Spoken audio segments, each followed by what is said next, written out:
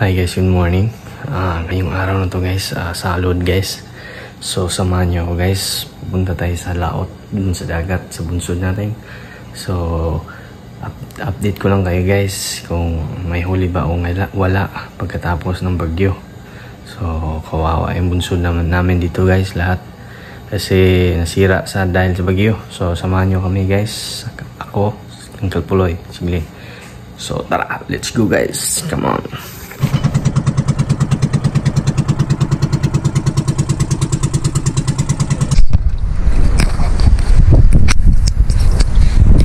So hi guys So karon guys sa salud guys So samahan nyo ako guys sa ilalim ng tubig ngayon It's already uh, 3 a.m. in the morning 3 a.m. ba o 2 p.m. 2 a.m.